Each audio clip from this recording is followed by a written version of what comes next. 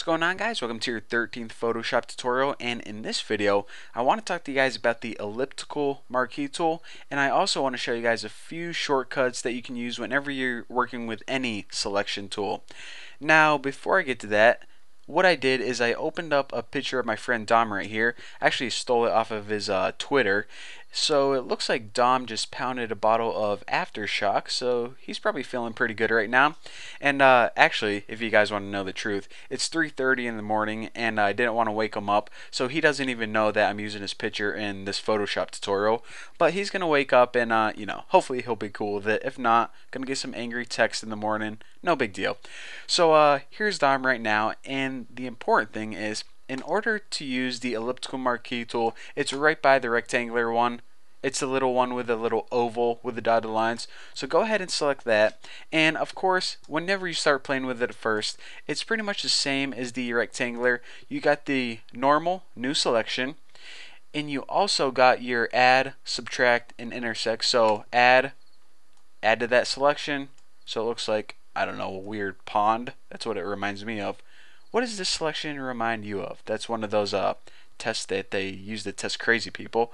But anyways, you know, I'm getting kind of sidetracked here.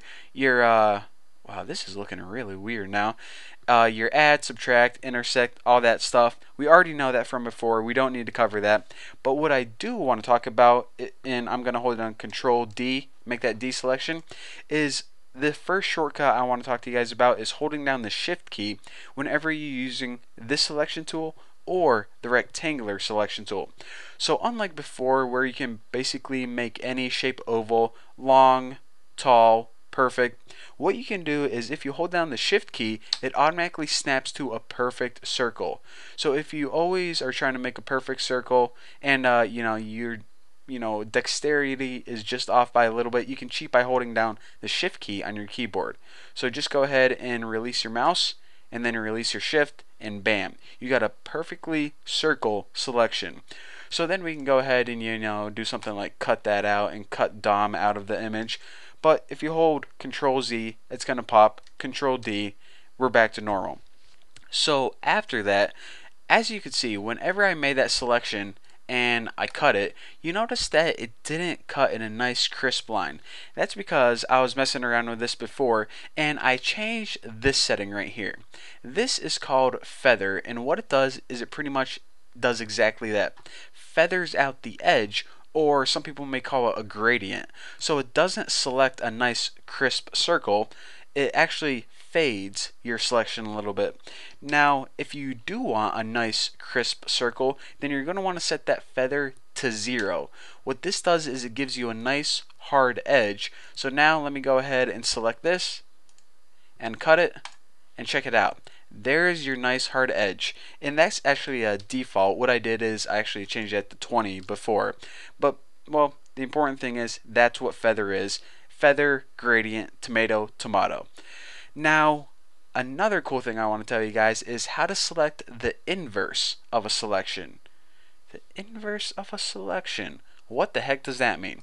Well, go ahead and make a new selection and say that we want to um, cut everything out of the image except, you know, Dom's face. So what we can do is we can hold shift and make a perfect circle around Dom's face right here. And let me just go ahead and do this Okay, right there. Now, like I said, we want to keep Dom's face in here. So if we go ahead and cut this right now, well, that has the opposite effect. So let's go ahead and step backward. And what we need to do is we need to select everything except this selection right here. So in order to do that, what we need to do is go to Select Inverse. Now, whenever we click this, what it's going to do is it's going to look at your selection, see what's selected, and then say, you know what? That's what I'm gonna not select. I'm gonna select everything but that. So now, even though it looks like there's a dotted line and this is still selected, what this is actually saying is, you know what, all of this stuff is selected around here. So now if we go ahead and cut it, check it out. Dom's face remains and everything outside it is cut from the image. Pretty freaking sweet, huh? So again, that's select inversed or excuse me, inversed. What the heck is that? So now let me just go ahead and I probably messed this up. So I'm just going to go ahead and open it again. Oh, where are you at, Dom? There you go. So the last thing that I want to talk to you guys about is just a real quick shortcut. Probably could have talked about this before, but if you have your selection tool and you just have all your defaults normal new selection of course look what's going on whenever I select this it starts wherever I click and it ends up basically where my ending cursor is. But some people prefer an alternative type of selection and how conveniently if you hold down the alt button, think of this as alternative, you see how that connects in your brain? Hold down alt on your keyboard and click and drag. And now you can see your selection is no longer starting where you clicked and ending up where you let go, but it's moving in a circle from the center out.